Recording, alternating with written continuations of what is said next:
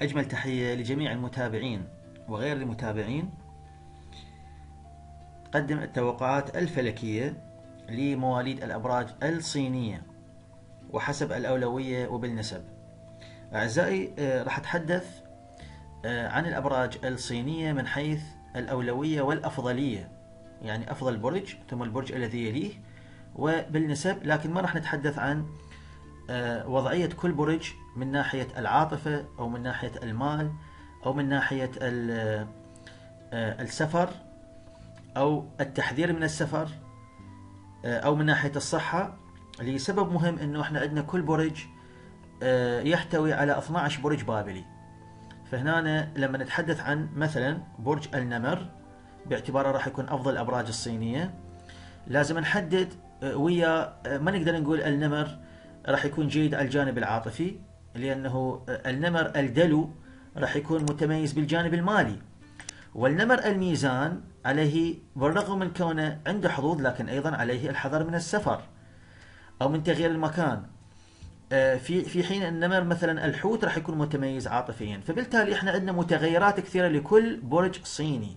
ولهذا ما راح أتطرق إلى إلى آه، الجوانب المعتادة عندنا الجانب العاطفي والمالي والسفر والصحة ما راح نتطرق عليها بالأبراج الصينية لكن فقط راح ننطي الأبراج الصاعدة والأبراج المتوسطة والبرج النازل لعام 2022 آه، وراح أتحدث عن كل برج على حدة ب آه، برؤوس أقلام. هذه لفت فكرة معينة بإمكان أي شخص متابع أن يستفيد من عندها خلال العام 2022 آه، آه، وعندي حلقة آه، يوم غد إن شاء الله راح نصورها خاصة بالأبراج الصينية للحديث عن كل برج بشكل مفصل ليش هذا البرج ارتفع والبرج الآخر انخفض. هذا إن شاء الله يوم غد راح ننزل الحلقة. طيب خلينا نبدي بالأبراج الصينية وحسب التسلسل. طبعا أفضل الأبراج راح يكون مواليد برج النمر. وننطيه 95% بدرجة امتياز. يليه بالحظوظ آه، مناصفة الحصان والكلب. وننطيهم كل واحد 90% آه، بجيد جدا. التنين بالدرجة الثالثة ياخذ 85% بجيد جدا. آه، في الدرجة الرابعة أو في المرتبة الرابعة راح يكون مواليد أبراج البقرة والفأر والحية. نعطيهم تقدير جيد بدرجة 77% بالمرتبة الخامسة راح يكون عندنا الخنزير والعنزة بتقدير جيد بنسبة 70% بالمرتبة السادسة راح يكون عندنا أيضا مناصفة الدجاجة والأرنب بتقدير وسط أو متوسط بنسبة 66% وآخر برج بالمرتبة الأخيرة والسابعة راح يكون آه، برج القرد آه، تحت الوسط ب 60% آه، من خلال النسب راح نشوف بأنه كل الأبراج هي عندها حظوظ لكن هنالك أبراج حظوظها أفضل من أبراج أخرى. خليني أدخل ببعض الإرشادات الخاصة بمواليد الأبراج الصينية. لكن للمعلومات أو للإفادة أنا ليش بدي انطي هذه النسب؟ آه، حتى إذا شخص مثلا آه، من مواليد الأبراج البابلية كان يكون من مواليد برج الحوت أو من مواليد برج الحمل هو عرف النسبة مالته إيش قد. آه، لما يدمجها مع النسبة اللي ذكرتها بالأبراج الصينية يقدر يجمع ويقسم على اثنين راح يطلع له تطلع له النسبة من 100.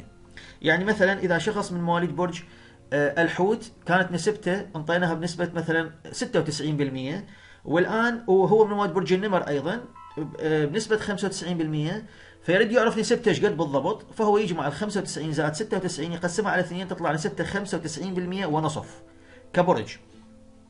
إذا كان مثل مثلا من موالد برج التنين آه، اللي نسبته 85% هو من موالد برج الحمل اللي نسبته 67% فراح يجمع ال 65 ويا 67 ويا ال 85 ويا 67 ويقسمها على اثنين فيطلع النسبة المئوية للبرج آه، الصيني والبابلي.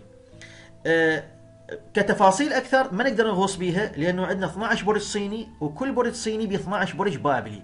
يعني إذا ردنا ندخل بالتفاصيل علينا أن نحلل 12 في 12 يعني 144 برج راح يصير عندنا. و144 برج هذه عملية معقدة وطويلة وتأخذ وقت. فالتحليل هذا راح يبقى يم يمكم يم الاشخاص المتابعين. المتابعين لإليا آه، من فترة زمنية طويلة أو الأشخاص المهتمين بالأبراج الصينية والبابلية طيب آه، ندخل إلى الفأر. نقول له بإمكانك كسب ود وعطف النمر. لكن احذر اللعب على المكشوف.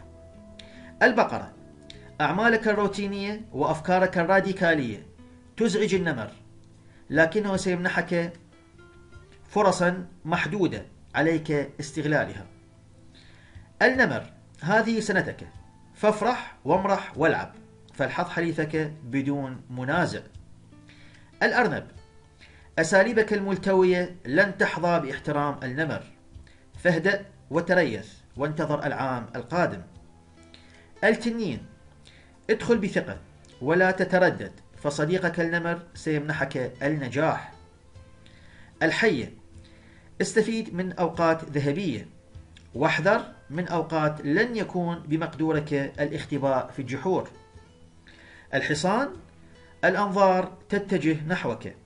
والنجاح حليفك. والحظوظ على طبق من ذهب. فاستفيد. العنزة. لن يمر العام. عليك بسهولة. فالنمر سيوقعك بالشباك. لكن هذه المرة شباك غرامه. القرد. أفعالك البهلوانية. وقفزاتك بين أغصان الأشجار. محاولة منك للاتزان والتماسك قبل أن تسقط فريسة لأنياب النمر. الدجاجة. ستبذل مجهود ومجهود مضاعف. لكن حاول أن تقلل من صياحك كي لا تزعج النمر فيضطر لالتهامك. الكلب. يقدر النمر وفائك. وتضحياتك وسيمنحك ثقته ويجعلك متربعا على العرش. الخنزير طيبتك الزائدة تزعج النمر وتعرضك للاستغلال فتريث وانتظر نهاية العام. تحياتي أعزائي تقبلوا فائق مودتي وهذه أحلى وأرقى وأنقى روزة.